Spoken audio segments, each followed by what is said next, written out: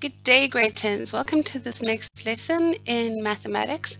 I hope you've had an awesome weekend. In this lesson, we're going to be going through Euclidean geometry. So we've been doing a bit of Euclidean geometry already. And if you recall, I taught you about maths being fun, maths being fun. And I know it's just a teacher's sad attempt of trying to indulge me and try and make bring you into it and hope, hope you enjoy it.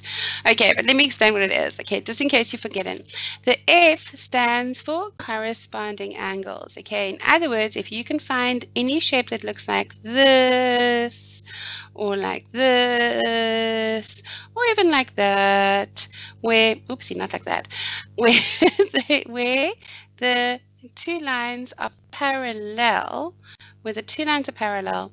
Then we have what are called corresponding angles and those angles are equal but that only works if these two lines are parallel. Those two lines are parallel okay?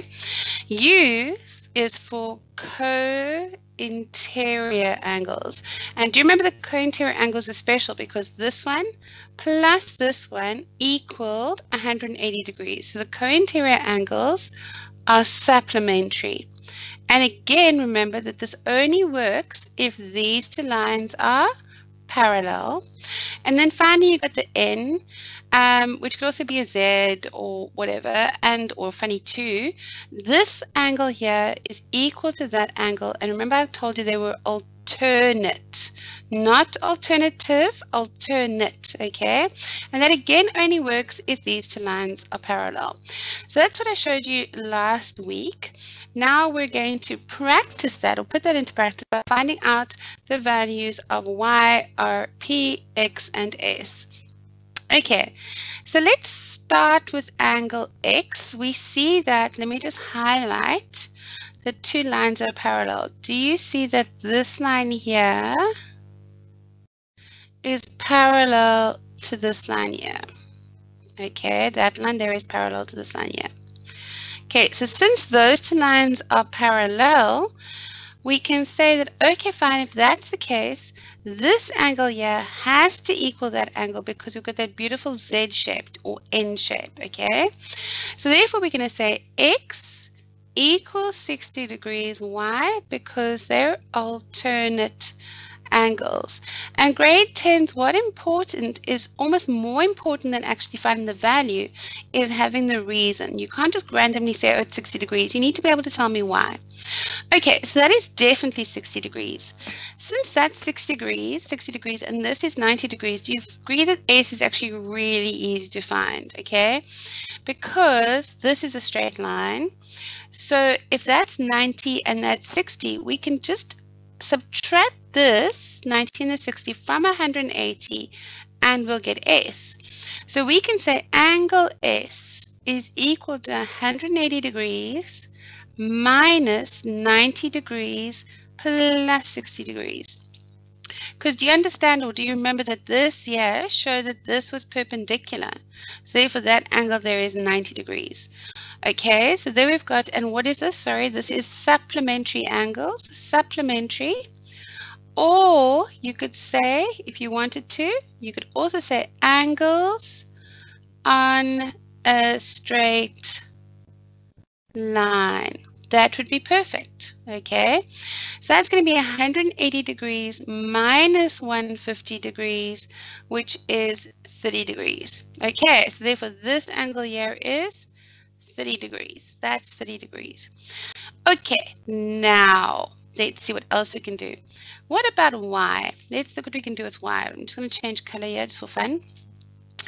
Do you see that y, if we draw this over here, do you see that y is actually part of that U. It's like a funny shaped U. It's an upside down U. And what do we know about the U? We know the U is co-interior and they add up to 180 degrees. So therefore we can say that this here, this y plus the 160 degrees has to add up to 180. So therefore we can say y is going to be 180 degrees minus 160 degrees, which is just 20 degrees. And y, You have to say it's co-interior angles. And you don't even have to say it's supplementary if you've said it's co-interior because all co-interior angles are supplementary. So that angle there is 20 degrees. Right, now, there are two ways we can get R, okay? The one way of getting R, well, a couple more, but the two most obvious ways. The one way is to realize, let me just get another color here, let's get purple, that this here is a straight line, okay, that that the E, this angle, and F is a straight line. So therefore, oh, I saw in a couple more ways. Okay, therefore, all of this has to add up to 180 degrees. And if that's 20, then this must be 160. Another way is to realize that this year, this year is an F. Okay, that's a funny F there. If I just color it in a little bit more, so you can see where I'm drawing. That there is an F. And therefore, they are corresponding angles and therefore they're equal. It doesn't matter which way you go as long as you get it right. Okay, so therefore we can say R, let's do the corresponding, is equal to 160 degrees corresponding angles. Okay, and finally we got P. Now again, there are two ways to get P. The one way is to, yeah, the one way is to realize that this is a straight line again. Or another way that we haven't used yet, which we could use, is to realize that these two, we've used green. What have we not used? Let's use this dark red. These two angles here are vertically opposite. And what's special about vertical opposite angles? They are equal. So therefore we can say angle P is equal to 20 degrees vertically opposite. Now, grade 10s, it is fine with me, more than fine with me and all your teachers, if you do this in a different order, okay? Or and if you do because you did in different order, you might end up with slightly different reasons. If your math, if your reasons are mathematically valid, okay, and unless the teacher asks you to do it in a specific way or in a specific order, which means they're looking for a specific way to do it, it doesn't matter. If they just say found all the angles, with all the letters, that's fine. And you can do it any order you want, whatever you see first. And like I said, as long as it's mathematically correct, no problems, okay? So for example, another way that we could have got S over here, look here, just to show you. Um, let's do dark blue. Yeah, we had 60 degrees for X. Another way we could have got S is to realize, well, this is 90 degrees. How do we know that? Well, if this is 90 degrees, that means that's 90 degrees.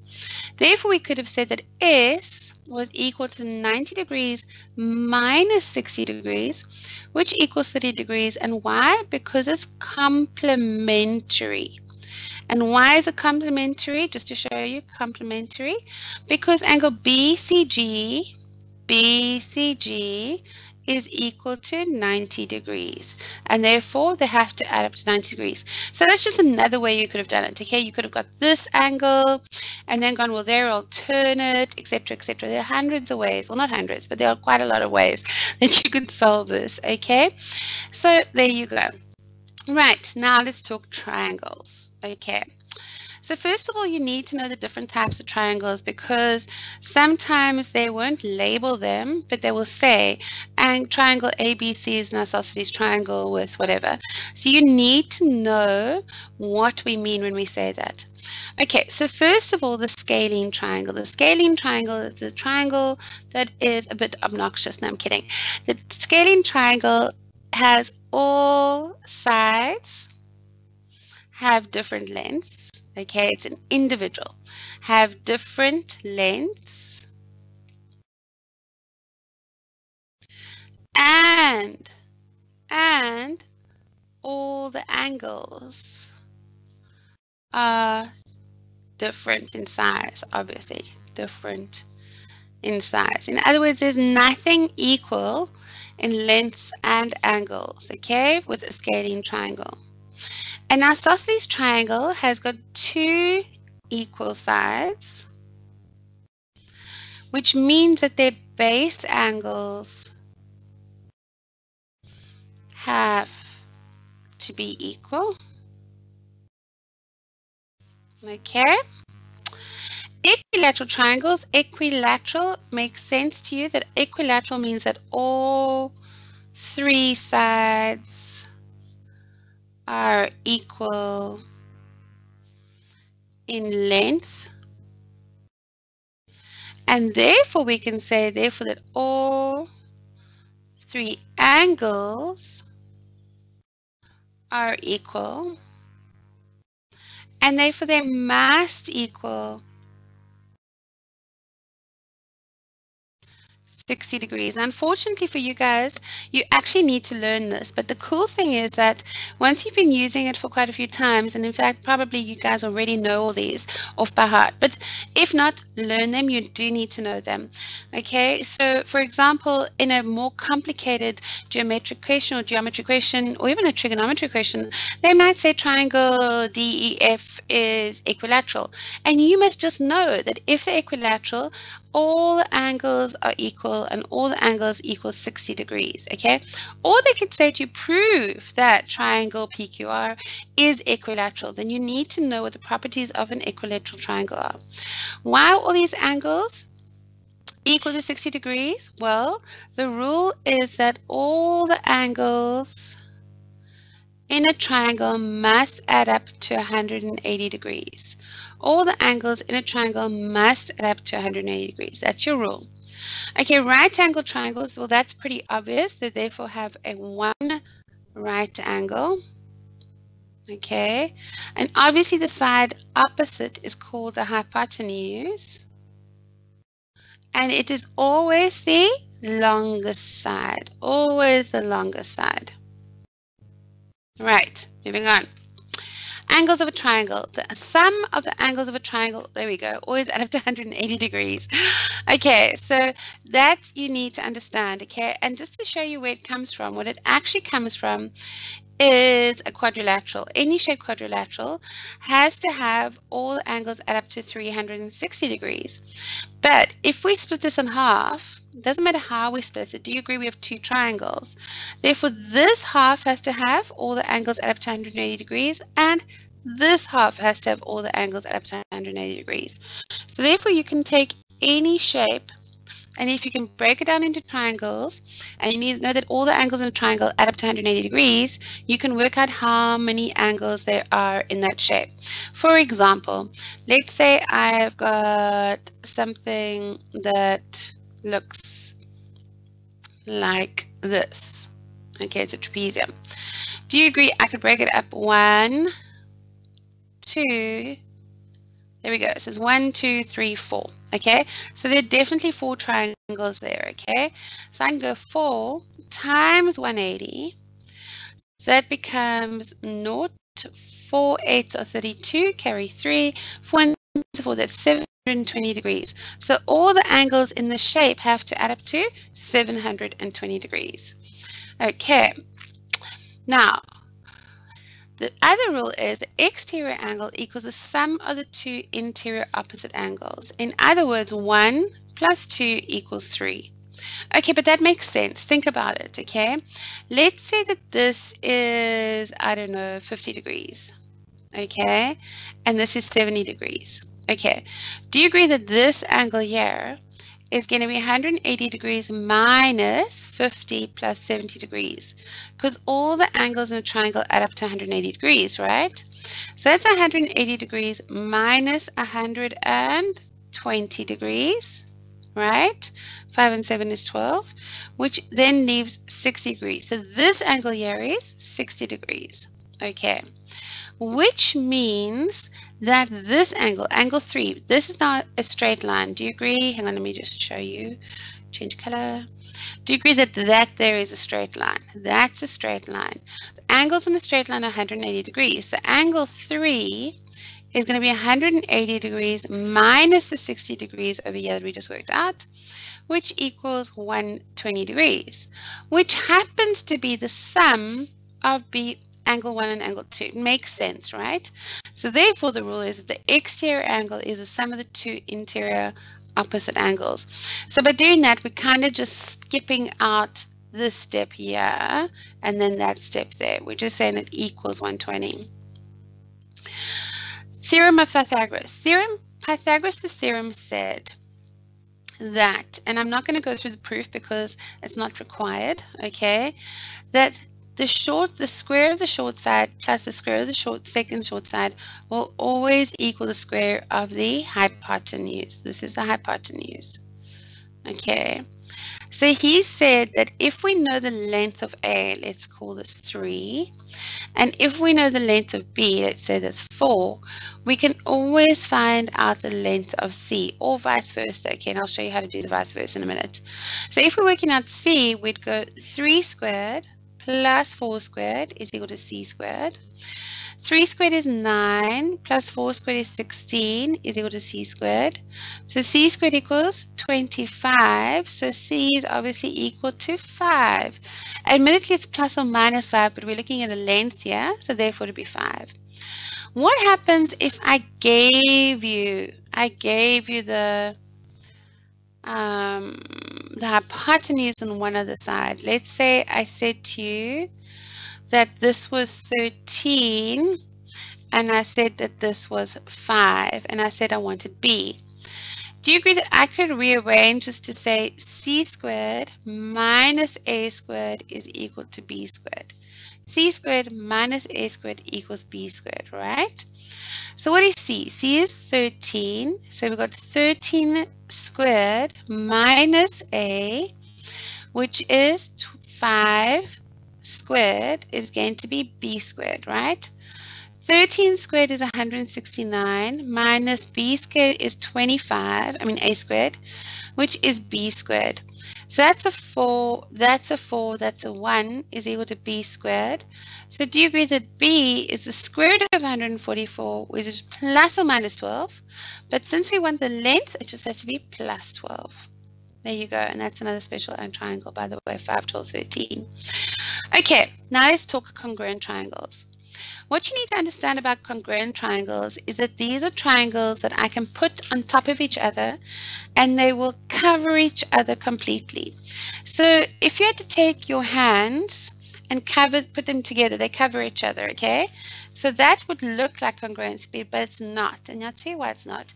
It's because we actually have to put the mirror images up against each other. Okay, understand what I'm saying? Congruency is not when you flip them over to match, it's when we can slide them over each other and maybe twist them around a little bit, but it's not a flip. Okay, please understand that. So one of the one of the properties or one of the cases for congruency is side, side, side. In other words, if we've got this triangle ABC, and we got this triangle DEF. Okay. Then we, the way we would do this, if we wanted to prove it was congruent, we'd say in triangle ABC and triangle DEF. Okay. We have that AB equals DE. AB is equal to DE. And what you need to notice is that this is going from through the short side, okay, and this is going through the short side. But this A to B is going from the short side that is connected to the two, two second length one to B, which is connected to the third length one. D is a similar, it's basically the same. It's A, it's D is going through the short length, but starts at the join with the second length and ends at E, which is at the end of the short length, but next to the third length, okay? In other words, I'm going through these in the same order. Next, we can say that AC, AC is equal to DF, DF. And by the way, the reason for this in this case is because it's given. They actually told us that these were equal, okay? And we can see that BC, BC is equal to EF, EF. So you can see the order, BC, EF, okay? BC is equal to EF. Again, it's given. Therefore, we can say that triangle ABC is congruent to triangle DEF And the reason would be side, side, side. Okay. Now, there are a couple of other things I need to point out to you. One is that the thing that looks like an equal sign but with a third line, that's congruency. The thing that looks like two, like wicket pole, I mean cricket poles without the little things at the top, that is, this is similarity. Don't get the con too confused, okay? Similarity. Whereas these are congruent, okay? What's the difference? Similarity means the triangles are similar. In other words, they might be similar in shape, okay? Congruency means I can actually take the one triangle and put it over the other one. I can slide it across and cover it entirely. It is identical, okay? And this is the case, and you always have to give a case for congruency, which in this case is side, side, side. Okay. Now, again, if we have to do this, and let's get more creative, let's call this the um, H, not that more creative, am I? H, I, J, and K, L, M. I'll start making up words later.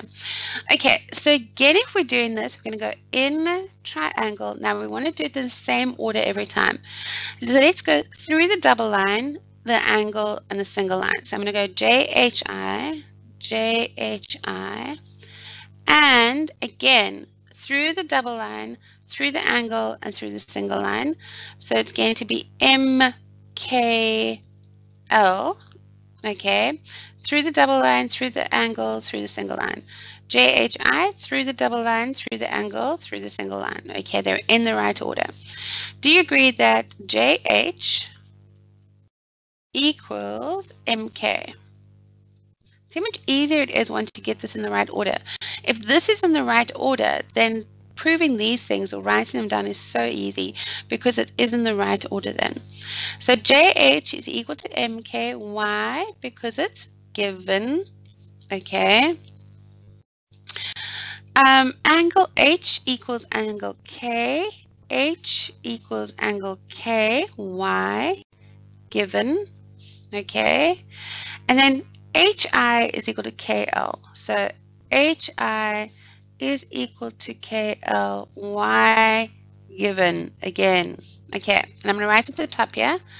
Therefore, triangle JHI is congruent to triangle MKL, and the reason is side, angle, side, side, angle, side. Okay, what you need to understand is because of these two triangles being congruent, we can now tell this. We know that therefore this angle here is going to be equal to that angle, that this angle here is equal to that angle, and if these two sides are equal and this side is this equal to this, that this side has to be equal to this side. Okay, do you understand that? That's why this is so important, is because if I can prove that these two triangles are congruent, then if I know what size I is, I'll know what size L is. If I know how long IJ is, I know how long LM is. There you go. Right, let's look at another case for congruency. Please note that this was side angle side. This is a side with an enclosed angle. Yeah, we've got two angles and an enclosed side, and that's important. Two angles and enclosed side. So again, let's see, we've got as far as M. So let's do M, N, O, P, Q, R, S. I know I'm going to run out of letters very soon. Okay, so if we look at these, we now have in a triangle. So I'm going to go dot, dash plus. Okay, so it's going to be N O P N O P and triangle again dot dash plus. So guys, remember that in these cases, we're actually showing you what they are. So because we're showing you what they are, um, in other words, we're proving it to you, it looks very obvious, but it might in the, it might look like something like this. It might be Q R, S, there's the dot, there's the line, there's the plus. Okay, it might be something like that. Okay, you need to understand that it could be like that. Okay, so in triangle, in this case, it's Q R S. Okay, dot line pl plus sign. Okay, we have angle N is equal to angle N, and that is given. I don't know I'm putting equal sign. It's given. We have angle O is equal to angle R given. Okay. Then we have angle line no. See that? No, no is equal to line QR, QR. Why? Given. Therefore, and I'm writing it on the side here, triangle NOP is congruent to triangle QRS, and the reason is angle, side, angle. Angle, side, angle. Okay, two angles on the side. Right. The last one, I think it's the last one. Yes. The last one is the most obvious one. It's right angle hypotenuse side. Okay, it's pretty obvious. Okay, it's obvious that if this angle is 90 degrees and this angle is 90 degrees, and this side is equal to this side, then it's obvious that these two are going to be, um, and sorry, and that this side here is equal to this side, then it's obvious that they are going to be congruent. And again, this is how you would write it out. You'd say in triangle, how far did we get? We got as far as S, T, okay, T, U, V, W, X, Y, W, X, Y. Okay, so in triangle T, U, V, so I'm going single line, 90 degrees, nothing and triangle single line 90 degrees nothing. So it's going to be w x y. Okay u is equal to x which equals 90 degrees given. Okay. Tu is equal to wx okay given. And tv TV is equal to WY, WY given. And the reason, yeah, you'd think it would be two sides and an angle, but it's not. The reason you'd say, therefore, triangle TUV is congruent to triangle WXYY, right angle hypotenuse side. Right angle hypotenuse side. Okay, so now let's look at these and remember if so, under what conditions? Okay, it says, are these triangles uh, congruent? If so, under what conditions? So let's think about what the conditions were. Let's go through them again once more. You got side, side, side, side, enclosed angle side, angle, angle side, right angle hypotenuse side. Okay, right. So you've got side, side, side, side, angle, side, angle, angle side, and right angle hypotenuse side. Okay, so do you agree that this line here equals that line there? Okay, and we've got this line here is equal to this line here, right? And we have that, no, wrong color. This angle here is equal to this angle. Why? Because they are vertically opposite angles. Therefore, they are definitely congruent because they are side angle side. So now let's write it out. We would write it out like this. We'd go in triangles and we start with B, double line, angle, single line. Okay, so it's B, C, A, and triangle, double line, angle, single line, D, C, E. Do you agree that BC is equal to DC, always in the same order? Can't be CD because then you'd be going out. It has to be in the same order. Okay, and that's given. Right? We have that CA is equal to CE. So you don't even have to read it off here. We've got it already. CA is equal to CEY given and we could say angle C is equal to angle C because they are vertically opposite angles, vertically opposite angles. Therefore, triangle BCA is congruent with triangle DCE. And why? Side angle side. Here you go. Proven. Okay. Now let's look at this one. Again, what are our options? Options are right angle, hypotenuse, side, side, side, side, uh, side, angle, side, and angle, angle, side. Okay, right. So now what do we have? Do you agree that we've got this side is common? Okay. We have that this is equal to this and this is equal to this. So therefore these two must be equal. So we've got angle, angle, side, angle, angle, side. That'll work. It doesn't have to be an enclosed side, but it works. Okay. So we go, okay, fine. In triangle ABC, in triangle ABC, ABC, and triangle, now I have to be in the same order. So it's dot, angle, cross, dot, angle, cross. It's going to be triangle ADC angle A equals angle A. Sorry, I have to cough to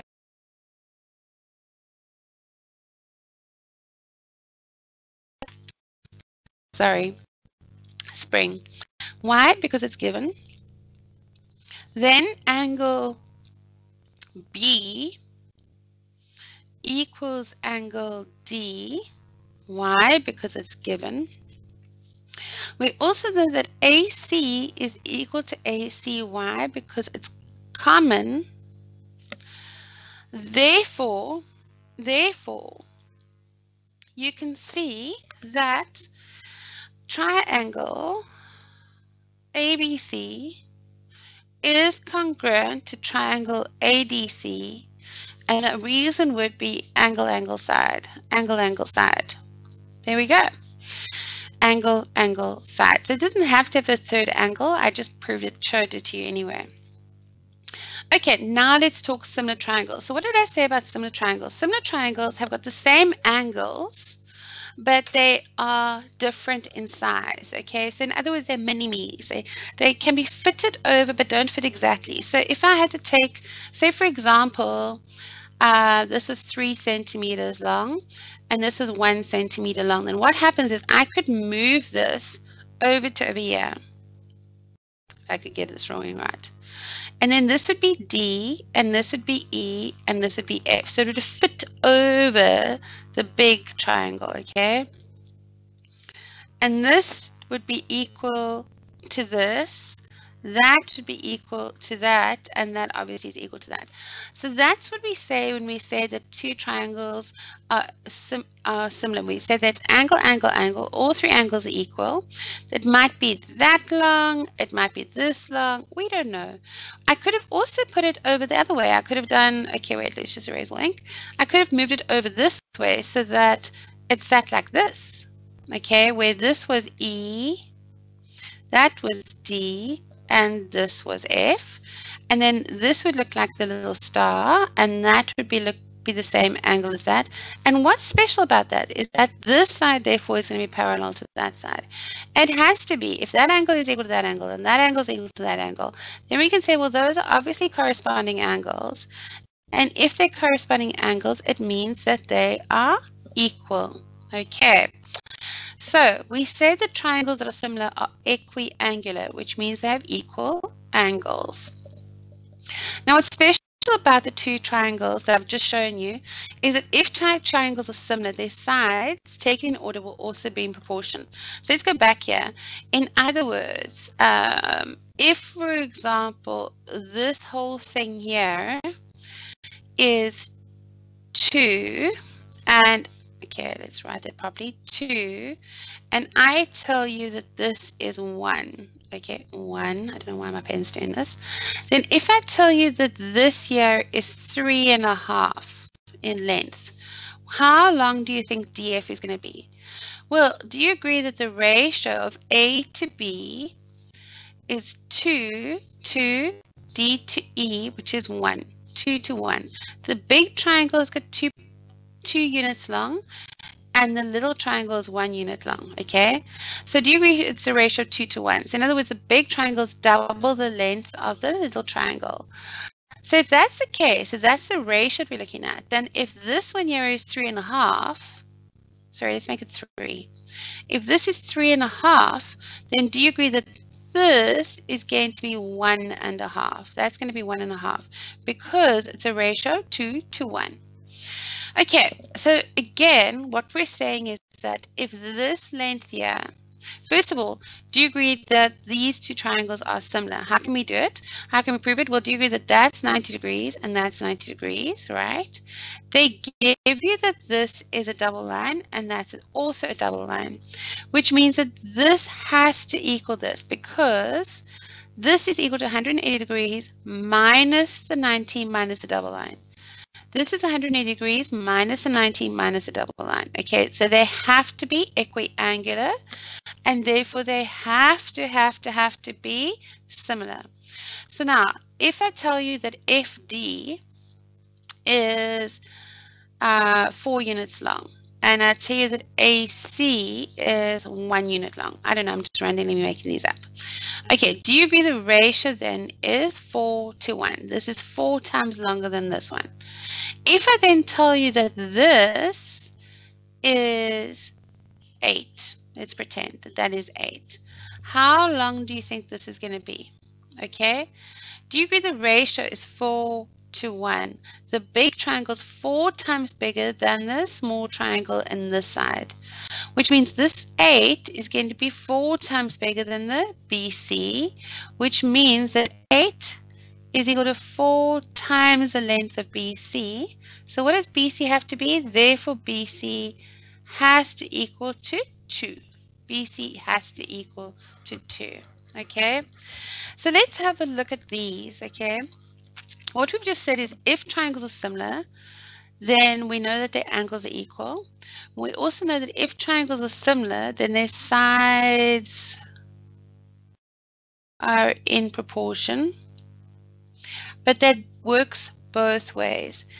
If their sides